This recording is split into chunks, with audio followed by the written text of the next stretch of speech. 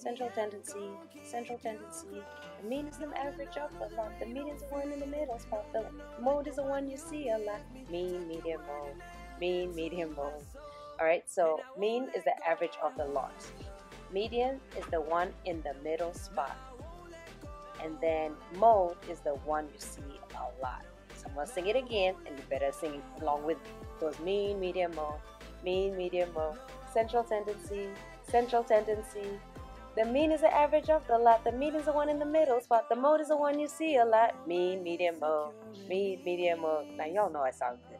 That's all right. All right, so um, mean x bar average of the lot and how you find that is the sum divided by the number of values. The one in the middle spot, you have to order them from least to greatest. And mode is just the one you look at a lot.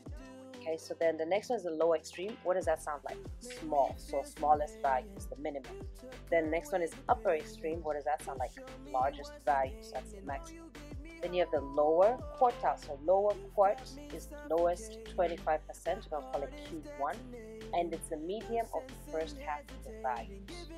Okay, so if you're only looking at half of it, you take half of that, you're going to get half, and then half of that.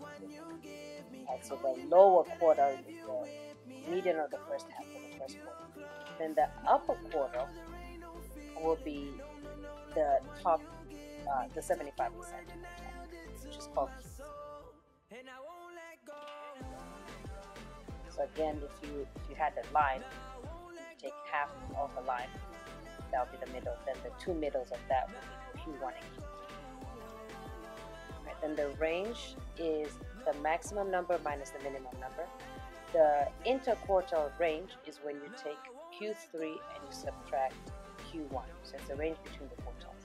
And that's pretty much it. So for this unit, you just need to know all the definitions because after that, the calculator will do it. Looking at the examples, you're given this data set, and all you're going to do is plug it into the formula, um, the calculator, I'm sorry, to find out what all these things are. But before we do that, we have to reset our calculator. So remember, you have to press second plus 712, then second plus 722 and then stat 5 enter. So we're clearing the calculator do this every single time. Alright then to put it in you're going to go stat edit and then enter your values into L1 so enter all of this. The order doesn't matter. Just make sure that you don't skip a single one. So you see I'm using my finger and moving on to the next one to make sure I don't skip any because if you skip one I change everything alright this is a listening check color in example 1 and then you're going to go stat then arrow over to calculate like we've done before. And this time you're going to choose first variable stats and press enter. And it's going to give you all the information that you need. You just need to recognize what the symbols are. So the mean is the one in the x bar. So that first one is the mean. So the mean is 75.31 the median you're looking for something that says mid mid middle and that's 73.5 the mode is the one that you see a lot so that one's not in the calculator you just have to look and the way I do this is I use uh, like colors.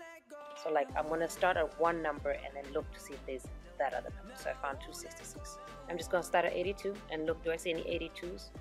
No. I go at 84, do I see any 84s? No. 66, I already got that one. Keep moving 75. And because I've already looked at the numbers on the right, I don't need to keep looking at those. So I can keep moving left until I see what I need. Alright, then 73, nope. 52, nope. 91, Nope. So that's pretty much it. So it turns out that I have two modes. So and that's okay. I can just write those down. So my mode is 66 and 72. Those are the numbers that I see a lot. This is a listening check. I want you to color in mean 75.31.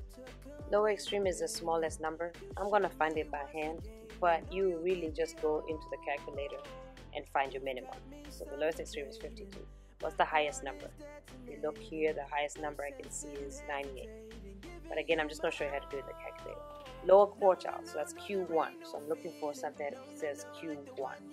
So you see the low extreme, the minimum is 52, and then if you go down, the maximum is 98. I don't know why I was doing it by hand. Alright, Q1 is what I'm looking for, which should be the low quartile, that's 67. Then I'm going to look for the upper quartile, will be Q3, which is 83. And then the range is when you take the higher, the upper extreme minus the lower extreme, so 98 minus 52 and you get 46.